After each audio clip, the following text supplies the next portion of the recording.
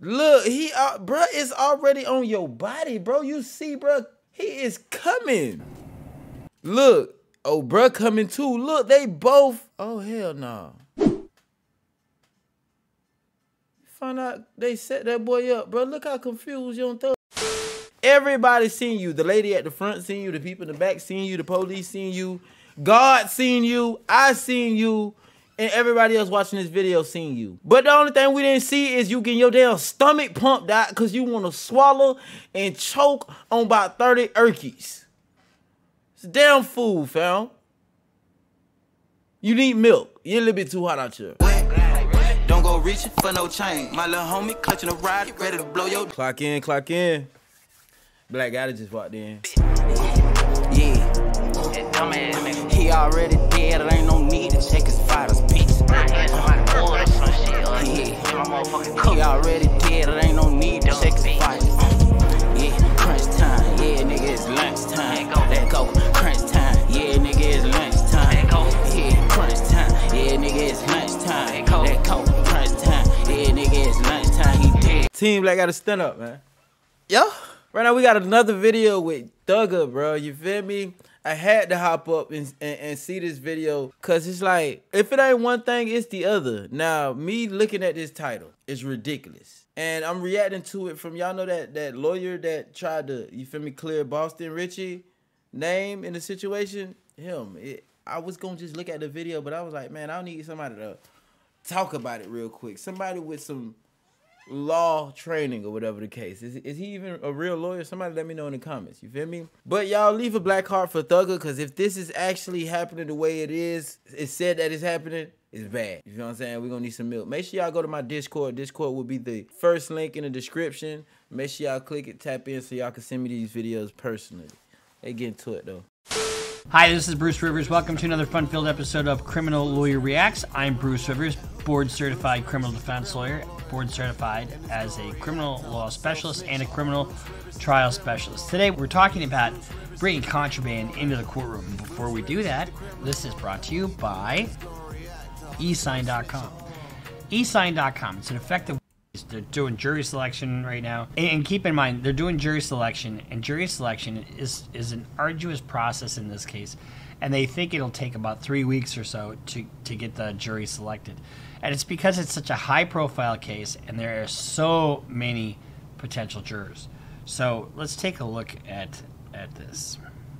So we start out. You can see where this is typical. It's at a break. There's conference, uh, you know, the counsel table and uh, people in the gallery. So let's see what happens. Now, mind you, this is also a gang case. So there are a lot of deputies. And so the eyes are on you. Not, there's nothing you can do that they won't see. That's what I'm saying. Like, was this planned or, or did it just happen out of nowhere? I'm trying to figure out, like, is did Young Thug knew bro was gonna do this? Uh, bro just out of nowhere just came with whatever he had and tried to get to him. Like, what's up? So Mr. Williams is just sitting there next to his lawyer. His lawyer's the one with the mask, obviously. Now you see the guy in the back get up. He comes up to him. He's not part of the legal.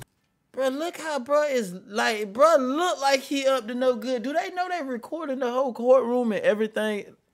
Bro walked up like he wanted to get caught. And so the minute the deputy the deputies are watching this thing like a hawk. So the minute they see somebody coming up, yeah, they looking. Watch what they do. They ain't close on. Look, he uh, bro is already on your body, bro. You see, bro, he is coming. Look, oh, bro, coming too. Look, they both. Oh hell no. Find out they set that boy up, bro. Look how confused Young Thug looking though. Am I tripping? Or is Young Thug looking confused as hell? Like, look at the Bro, everybody is looking at you. Even people back. Even people in the back is looking at you, fam. Even this lady sitting right here is looking at you. Ain't no way he that slow and he hands him something. Look, look. Oh my God. everybody looking at you, boy. They turn, He tried to take off. We on your ass. turn it over.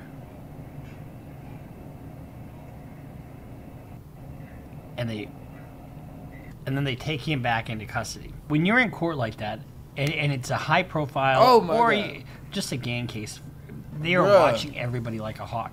They want to make sure that safety is paramount. And apparently, it's it's been reported that he gave him whoever that gentleman was gave Mr. Williams a Percocet, which, without a prescription, is a felony, and introducing it into the courtroom is a felony. The reality is, um, Mr. Williams had nothing to, with what, to do with what went on in the courtroom on yesterday. Obviously, it looked like he didn't even know bro was walking up on him. Um, on his way to the restroom, attempted to pass something to Mr. Williams, who immediately turned it over to the deputy. Um, He did not know it was allegedly Percocet. did not know. Well, we don't know what it is. Um, did not know what it was. Turned it over to the deputy right away. Um, deputies took action.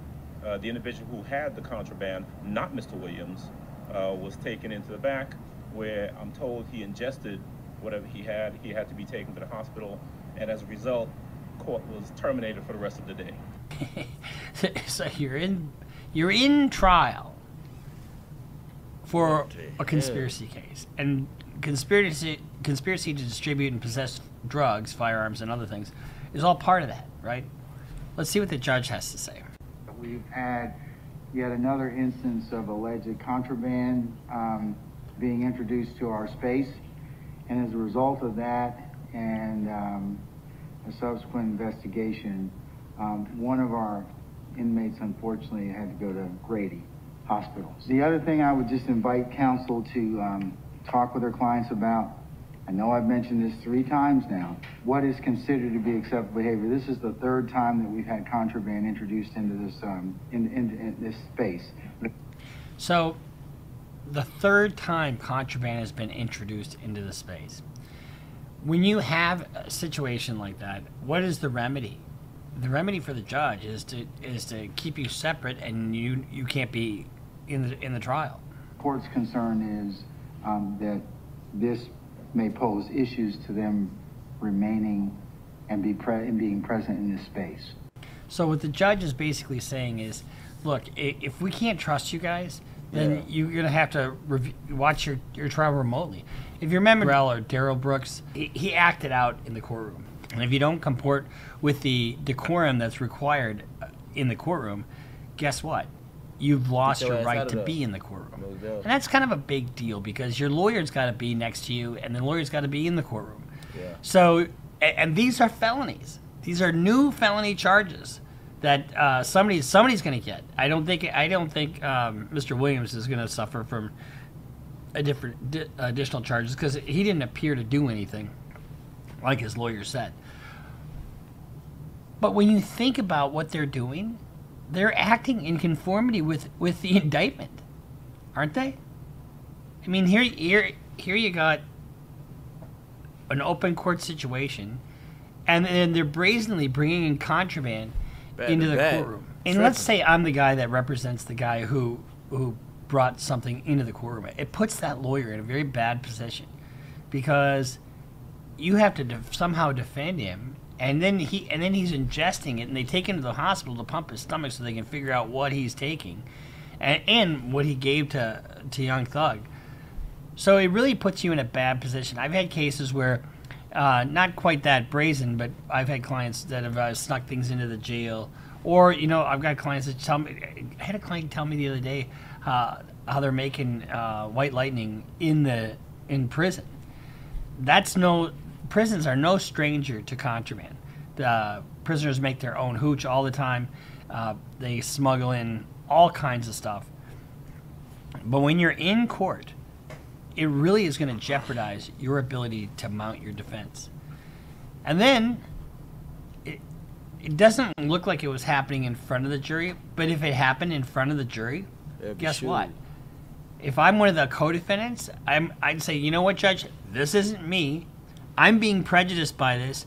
I want a whole new panel, and that could happen. It absolutely could happen. So if you're one of the co-defendants that isn't any part of that, and, and any part of this happens in front of the jury, you know, and you know, and they they'll find out stuff. You know, they they they read the newspaper. They're not supposed to, but you know, you know damn well that they're going to find out about this stuff. If I'm one of the co-defendants that's not doing any of this, I'm pissed off because. This Making everybody look bad. My right to a fair trial, Real talk. right? And so This man got a hat right here that say "Stop self snitching." That's exactly what I think we heard enough though, man. If you ask me, bro, that was has to be the slowest way to do something ever, bro. Like they spotted him the second he moved from his chair and started walking towards him. Then he give him this slow ass handshake. Didn't want to walk off like nothing happened and look back once you see like three police behind you. Everybody seen you. The lady at the front seen you. The people in the back seen you. The police seen you. God seen you. I seen you. And everybody else watching this video seen you. But the only thing we didn't see is you getting your damn stomach pumped out because you want to swallow and choke on about 30 Perkies. It's a damn fool, fam. You need milk. You're a little bit too hot out here. Real talk. Y'all let me know how y'all feel about this though, man. I'm about done with that. Clock out, clock out, Black Gatti. Check out that. Screw me. Bring my bread right now. Bring my money, nigga. Bring my bread right now.